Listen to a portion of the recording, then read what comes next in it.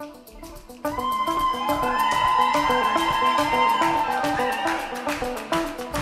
everyone, I'm Danny. I'm Carissa and, and we're, we're Balaclava. This summer we've got a really exciting opportunity to record our first ever EP.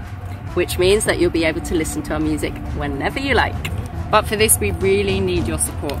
Please support us any way you can. Every last penny helps. And take a look at what we've been up to this summer and see for yourself where your money will go.